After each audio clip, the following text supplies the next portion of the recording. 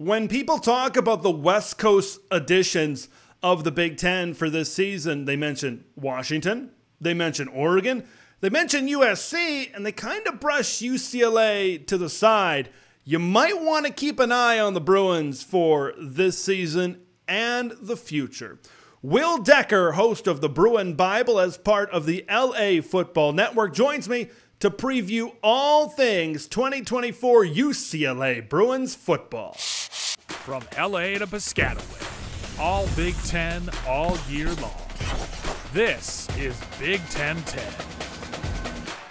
Have no fear, the UCLA Bruins are here. It's their first year in the Big Ten Conference, and boy, are they going through a lot as they transition from the Pac 12 to the Big Ten to talk all things 2024 UCLA Bruins. We bring in our guy, Will Decker, host of the Bruin Bible podcast, as part of the LA Football Network. All right, Will, there's a lot to get into, there's a lot to dissect with UCLA, but here's where I want to start with. In February, Chip Kelly, there were rumblings the months before that of will he stay or will he go? Will the administration possibly make a move. He elected to go become the offensive coordinator at Ohio State. Not exactly the best time. After two signing periods, kind of in the middle of a transfer portal period there in February, and they hire a position coach, but not just any position coach, a guy that loves those four letters, a UCLA legend in Deshaun Foster over there becomes the head man um, of this Bruins program. So you could see maybe mixed feelings, definitely mixed feelings outside um, of UCLA, those around Big Ten country, maybe some criticism surrounding the move. But what is the overall confidence? What is the overall feeling of Foster taking over this program? Because Deshaun Foster, in his short time as head coach, he's been able to do something that Chip Kelly didn't really want to do, and that's recruit. Yeah, and first and foremost, Ted, thanks for having me on, man. Always down to talk some Bruins and Big Ten football. Uh, the vibe around Deshaun Foster uh, was a name we floated out there because of what the job ultimately meant to him. Uh, a little nervous on paper, I think UCLA fans felt. Position coach, and you know he had not been an offensive coordinator, had not had any coordinating experience leading to that head coaching job. But what he can do is he can sell UCLA like no other and they've been able to hire a staff around him that allows him to keep himself at his strengths, which is kind of the CEO of a football team, which is kind of the way, uh, you know, a lot of universities and you know teams nowadays are kind of having their football programs be.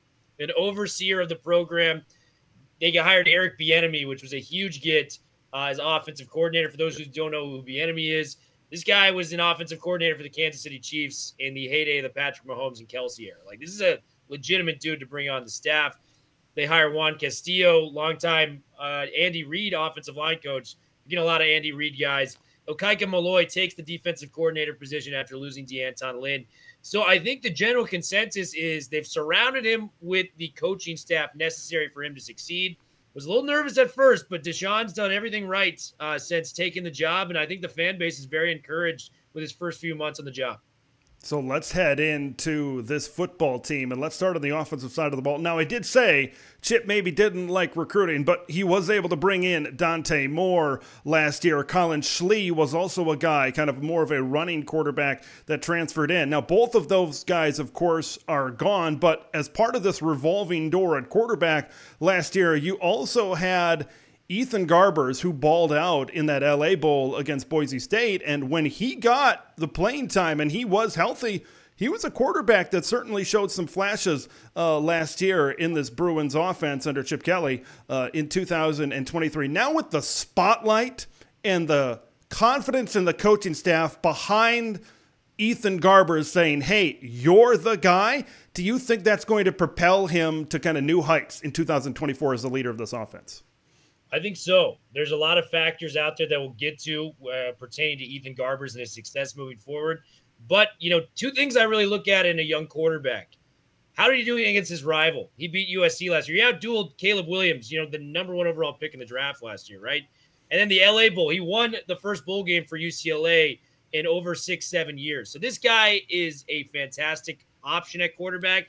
We didn't get to see him at his full potential last year with the revolving quarterback door as it was last year. Dante Moore was too good for a lot of people in their minds to keep him on the bench last year. And then Collin Schlee was a legitimate starter at Division One university at Toledo the year before. He was battling for a job there as well. So, with all that being said, 11 touchdowns, two interceptions, got big victories. I'm expecting this is the kind of the year he's laid the framework for him to have the confidence and you know all the tools he needs to be very successful his first year in Big Ten. I'm going to make a prediction. I think he's going to shock a lot of people by how good he can potentially be in the Big Ten in some of these ball games. Now, you talk about predictions in terms of being good and really being a surprise for Big Ten fans. I think a big reason why he could have that production is what they have coming back at the wide receiver position and what they're bringing in at the wide receiver position.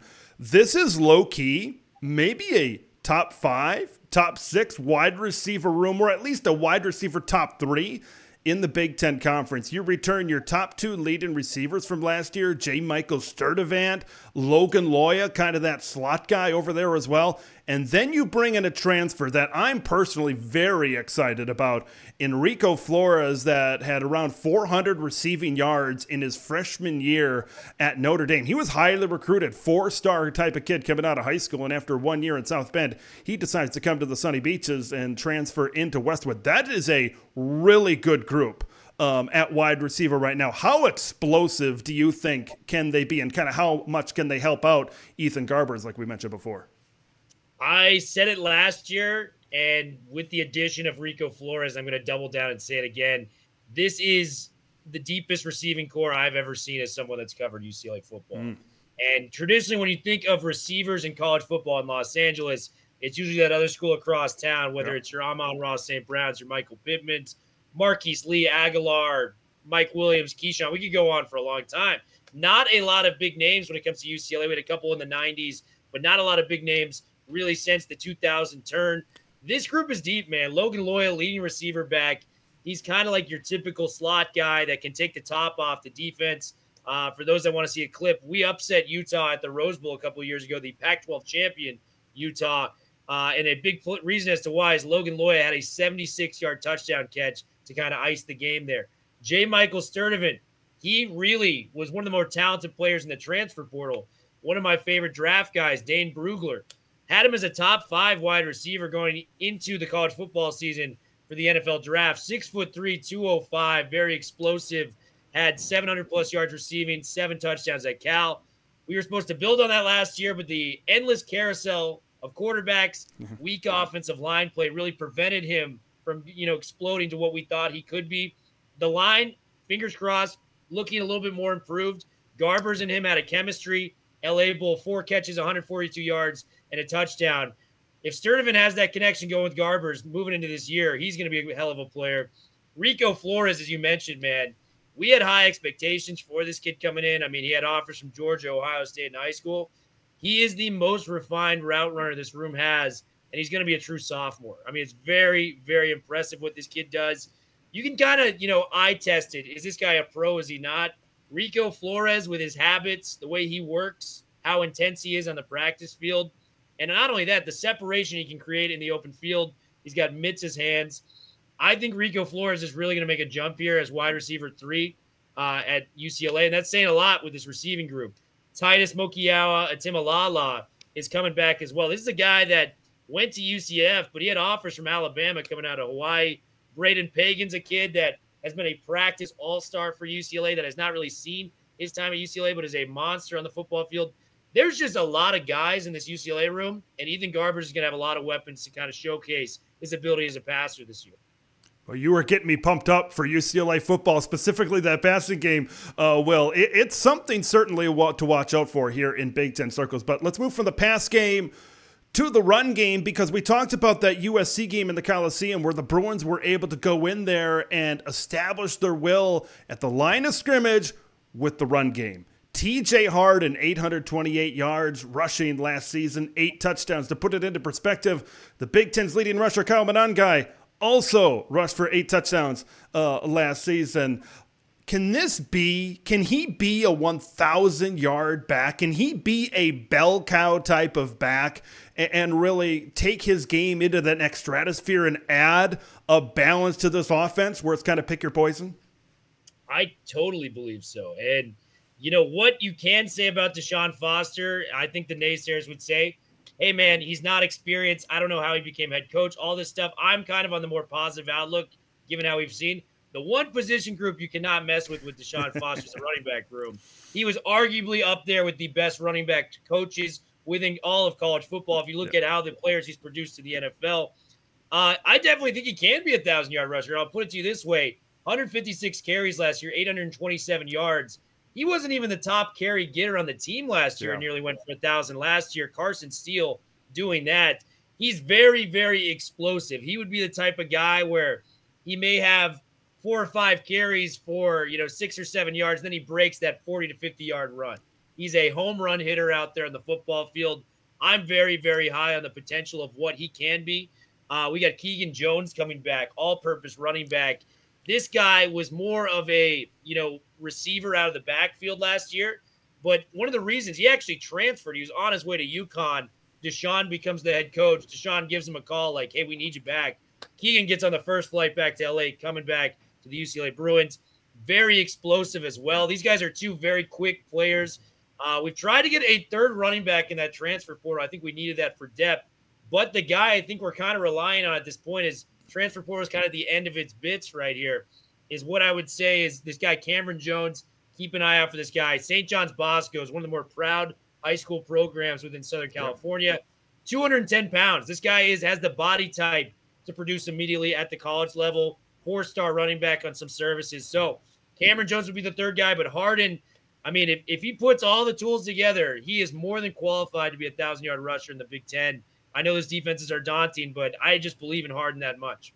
I watched that USC game and I'm like, that's a downhill back. That is a Big Ten running back right there. I think I tweeted it in the middle of that game when he was really um, going at that Trojan defense. Now, as we know here in Big Ten country, if you want a 1,000 yard running back, you gotta have the big boys up front. You gotta have the offensive line. There are three players on this Bruin offensive line that started all 13 games at their respective position. A familiar name to Big Ten fans, former Purdue Boilermaker Spencer Holstege at left guard. You're looking at Josh Carlin at right guard. You're looking at Garrett DiGiorgio over there at right tackle.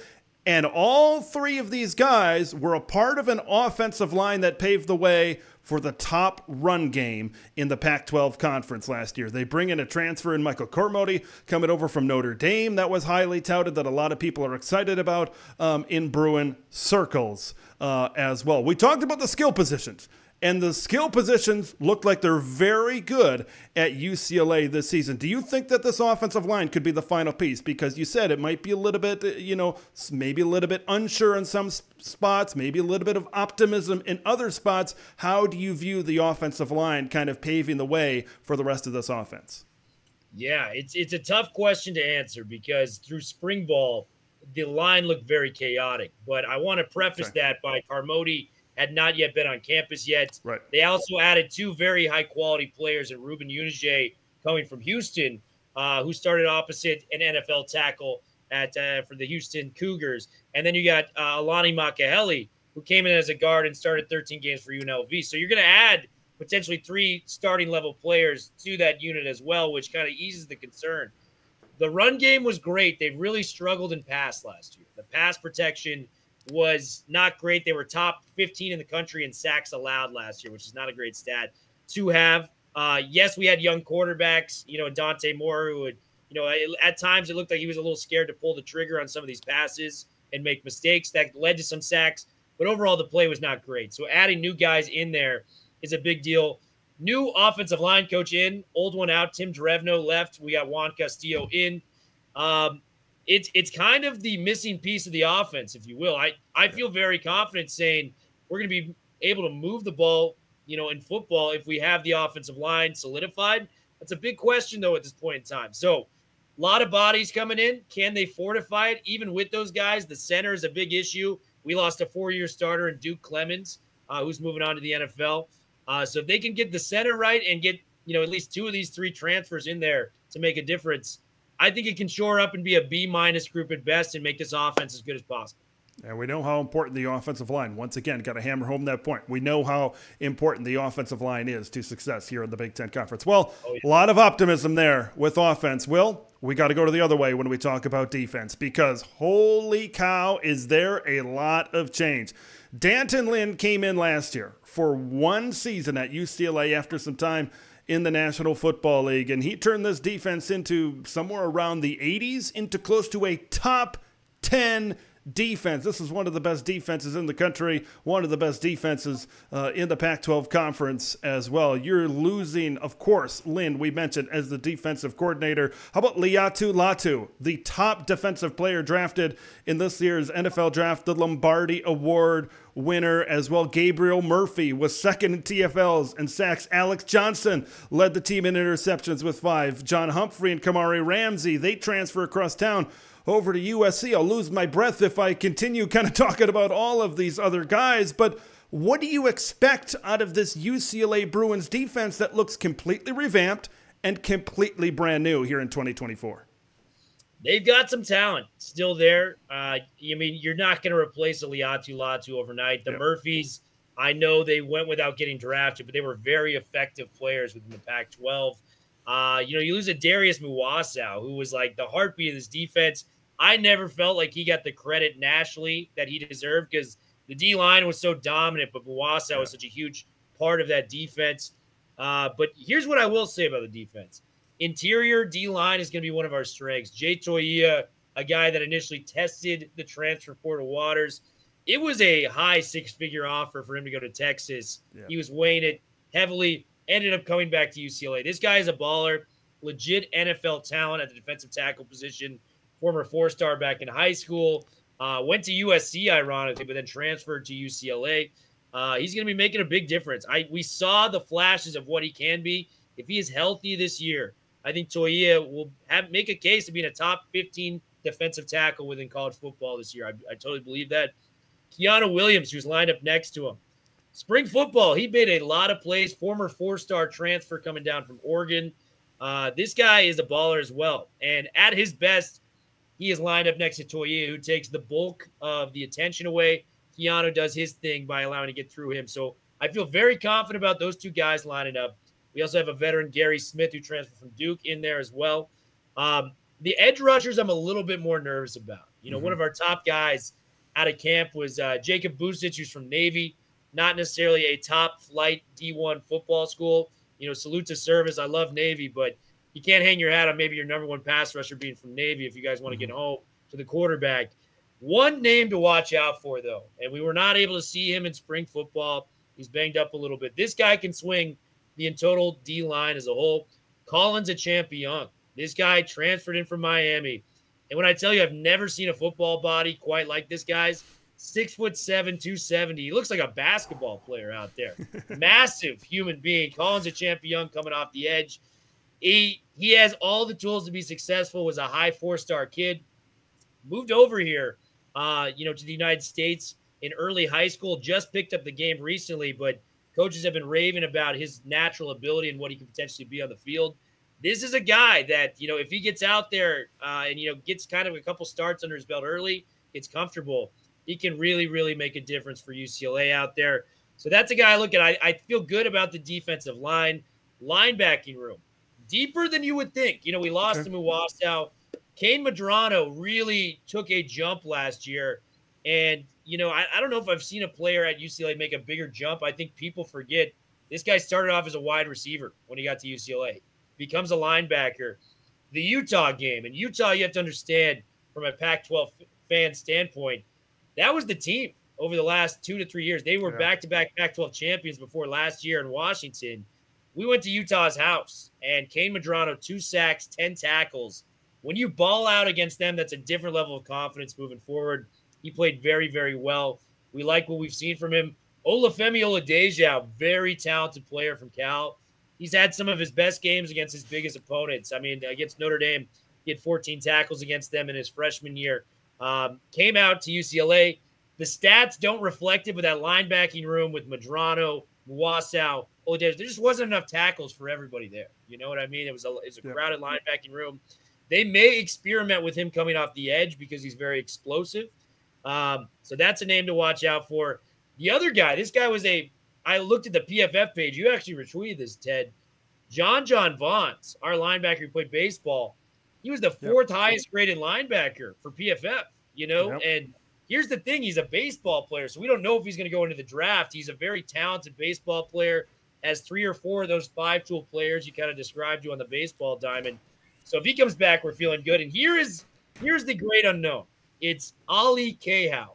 This guy was a former five-star player from Alabama, transferred here two years ago, played in our opening two games in 2021, and has largely been injured the last two years.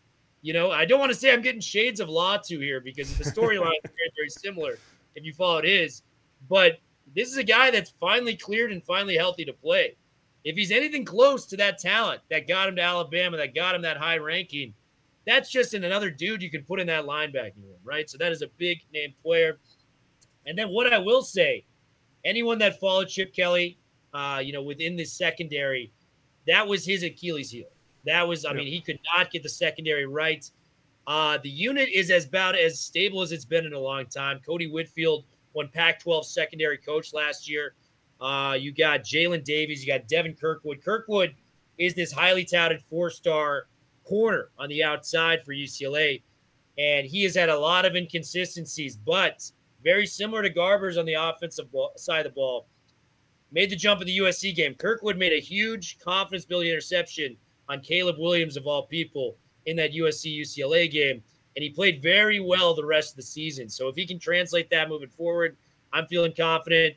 We got, uh, you know, Ramon Henderson coming from Notre Dame, competing for that starting safety spot.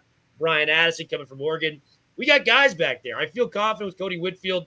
Is the defense going to be as good as it was last year? Probably not. But I think they're competent enough to keep UCLA in some ball games they shouldn't be in.